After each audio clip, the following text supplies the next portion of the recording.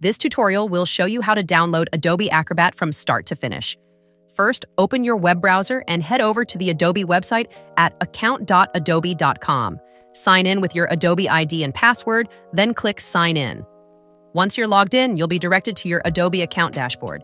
Here, you'll see all the products and services linked to your account. From there, click on Access Your Apps and Services.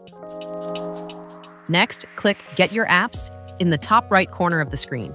Click Download next to Adobe Acrobat. The download will begin automatically. Depending on your internet speed, it may take a few minutes to complete.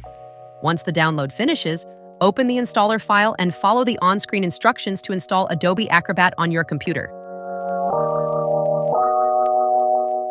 Before Acrobat can be downloaded, the Creative Cloud desktop app will first need to install. After that, the Acrobat download will start automatically. And that's it. You've successfully downloaded and installed Adobe Acrobat. We hope this helped. Subscribe for more Adobe tips.